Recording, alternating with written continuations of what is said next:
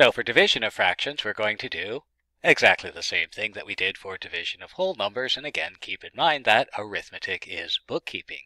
So what did we do with whole numbers? Remember that there's two ways of looking at the division A divided by B. We can either view it partitively or quotatively. And in a partitive division, the divisor b is going to be the number of parts and the quotient is going to be the size of each part. On the other hand, if I'm looking at this as a quotative division, the divisor b is going to be the size of each part, and the quotient is going to be the number of parts. Both of these interpretations of division are important for finding fractional quotients. So, for example, let's take the first problem, 27 and 3 quarters divided by 3.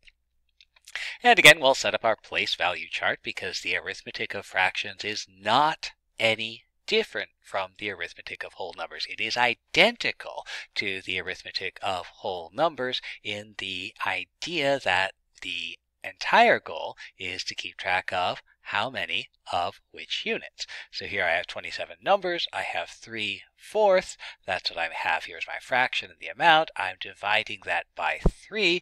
And if I am viewing this as a partitive division, then what I want to do is I want to take what I have and form three equal sets from that.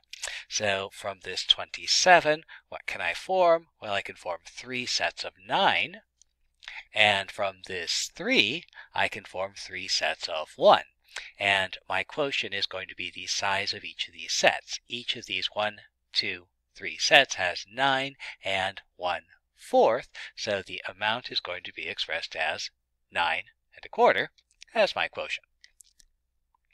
What if I'm doing a division like 4 divided by 2 thirds? Well, here's their problem is that I can't really make good sense of what I might mean by two thirds parts. So it doesn't make a lot of sense to talk about this as a partitive division. So I can also view this as a quotative division. I'm going to take 4 and I'm going to break it up into parts of size 2 thirds. Now, a picture might help, so let's draw four units.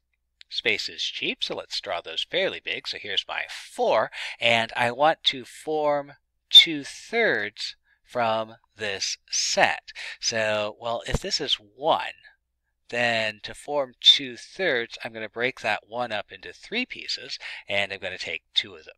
So there is a 2 thirds. Well, anything you do once, you can do as many times as necessary. I want to form another 2 thirds, so I'll break this one up and let's see. Well, here's a 2 thirds right here.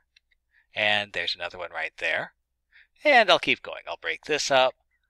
I'll break this up.